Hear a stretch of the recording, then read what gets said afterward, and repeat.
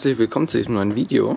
Ich wollte euch heute mal ein kleines Update geben über mein Motorrad, was denn jetzt alles kaputt ist, äh, wie es denn weitergeht und wie der aktuelle Stand der Dinge ist. Und natürlich auch ein kleines Update zu mir.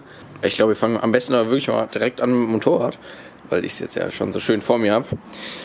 Also, ich glaube, ich gehe mal von vorne durch, was denn alles kaputt ist, beziehungsweise was ich jetzt schon gemacht habe. Erstmal die Sachen, die kaputt sind. Also das erste direkt sieht man hier natürlich, das ist der Brüsch, das ist nur ein bisschen verkratzt. So, dann ist äh, krumm ist die Gabel. Da blende ich ein Bild ein. Ich weiß nicht, ob man das jetzt hier so gut sieht. Ja, blende ich auf jeden Fall. Doch, man sieht's. Also ich stehe jetzt gerade davor. Man sieht ja, wie hier das, das Rad steht zur Gabel. Ja. Also jetzt stehe ich zum Beispiel gerade vorm Lenker. Ja, gut. Dann das hier haben wir schon getauscht. Die Lampe ist schon neu. Äh, das hier ist kaputt, deshalb haben wir jetzt gerade mit Klebeband ein bisschen äh, zugemacht, dass da nichts passiert. Ja gut, dann ist leider der Hebel kaputt. Das Problem ist mit dem Hebel, dass ähm, irgendwie sich da drin was verstellt hat, weil es diesen, diesen Einsteller verdreht hat und jetzt kann ich auf hinter die 1 stellen. Ich meine, er funktioniert noch. Ich weiß noch nicht, ob ich ihn dran lasse oder ob ich ihn tausche. Muss man mal gucken. Da sogar hier, sogar mein Griff hat es mir hier kaputt gerissen. Da habe ich aber auch schon neun. Naja. Das hier ist natürlich kaputt. Da habe ich sogar am Tag davor was vom Händler gekauft. Aber ey, äh, die Bremsleitung ist kaputt, die war nämlich abgeknickt. Äh, leider dadurch, dass ähm, dadurch, dass die ganze Armatur sich hier verschoben hat. Ja, die haben wir jetzt wieder zurechtgeschoben, äh, war der hier leider krumm. Das heißt, den habe ich aber auch schon neu. Der muss nur rankommen. Glücklicherweise hat der Kühler nichts, bis auf hier ein paar Kratzer, das ist nicht so schlimm. Ne? Der Kühler an sich ist gut. Genau, das heißt, hier vorne haben wir jetzt alles abgehakt. Der Tank natürlich, ja, den haben wir jetzt provisorisch, haben wir den ähm, mit Bordeaux-Rot, äh, also mit Grundierung halt und dann Klarlack drüber. Das haben wir einfach deshalb gemacht, weil der Tank angefangen hat zu rosten. Genau, aber das wird wahrscheinlich nicht so bleiben. Also da kann man sich sicher sein, dass das nochmal geändert wird. Genau, ähm, Dattenstutzpads. da hatte ich auch richtig, richtig gut Glück. Ich stelle euch das mal scharf. Pass auf. Zack. Ich habe nämlich einfach nur. Krieg ich die ab? Ich krieg die jetzt nicht ab. Aber man sieht sie ein bisschen, ja. Das Sturzpad an sich ist schon kaputt. Aber ich habe einfach die Abdeckung neu gekauft dann sieht man es nicht fertig. Weil das Sturzpad ist gerade. Ja, das Sturzpad ist hier wunderschön noch gerade und so weiter. Das hast du nur ganz bisschen abgeschliffen. Und da brauche ich dann auf jeden Fall kein neues. Das ist schon mal hier Geld sparen mit Slutty. Gut, dann fehlt hier natürlich jetzt der Auspuff. Ähm, der alte ist mir abgerissen. Ja, der hat Löcher. Und aktuell haben wir da jetzt nur so ein Rohr. Äh, wie sich das anhört, könnt ihr euch auf Instagram mal anhören. Oder ihr gehört, ihr hört jetzt mal geschwind zu.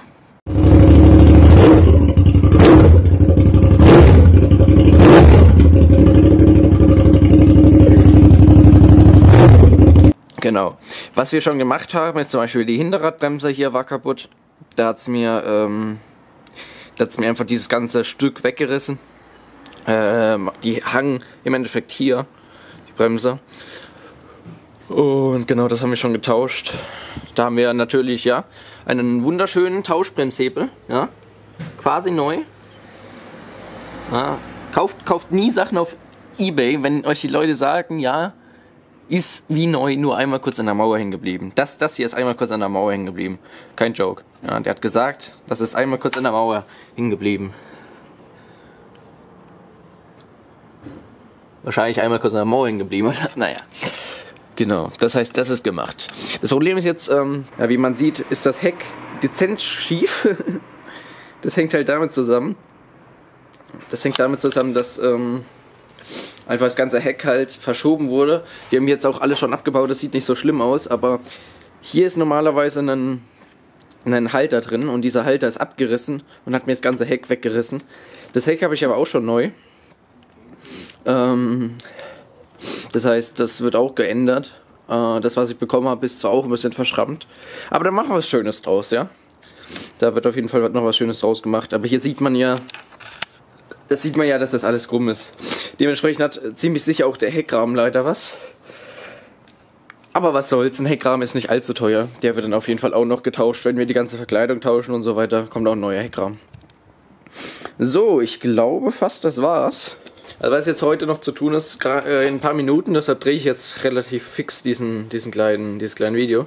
In ein paar Minuten wird mein Motorrad abgeholt, dann äh, wird die Gabel gemacht Und dann kann man endlich mal wieder eine Probefahrt machen und schauen, geht alles sonst und so weiter und dann die restlichen Teile tauschen.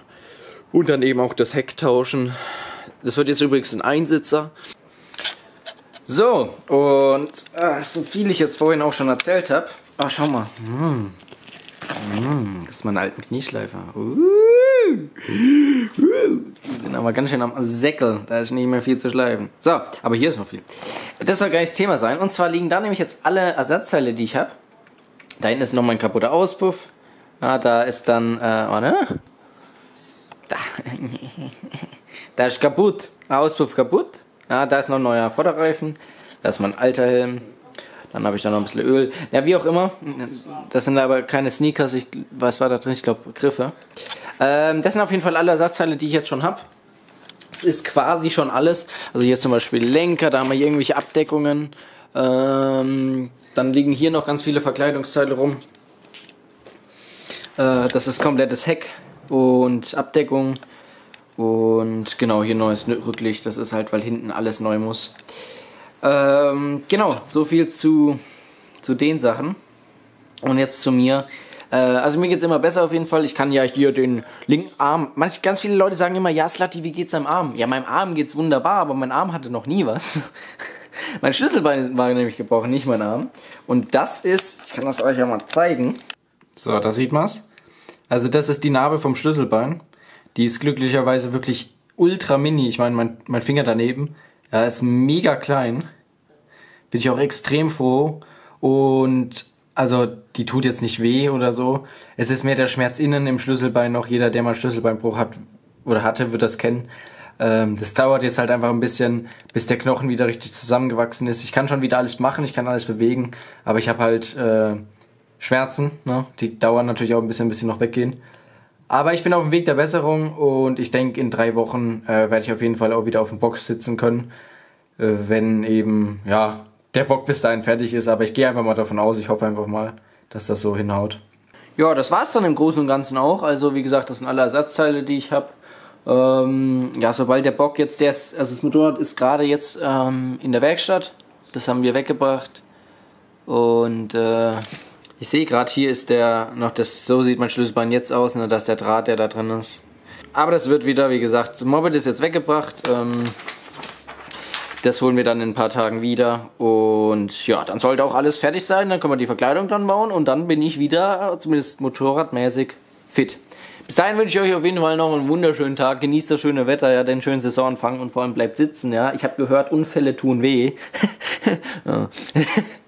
Gut, und dann sehen wir uns auf jeden Fall hoffentlich im nächsten Video. Bis dahin. Tschüss.